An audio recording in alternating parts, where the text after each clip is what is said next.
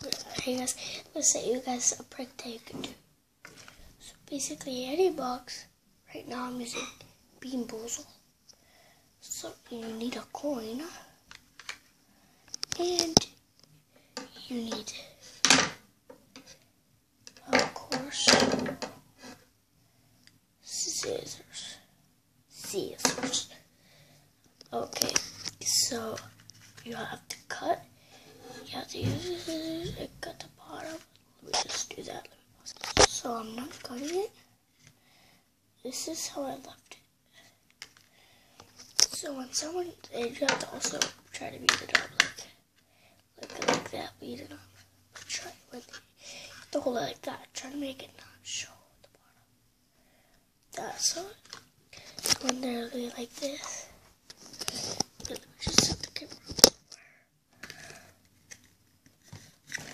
So it's puzzle. You go like like, you're like, hey, friend, watch try that. And then they put the cord, you like, put the cord inside. So look what happens. The cord falls. Yeah. But try not to move it like, try not to move it like that or it's to be obvious that you cut it from the bottom. So, guys, like, subscribe,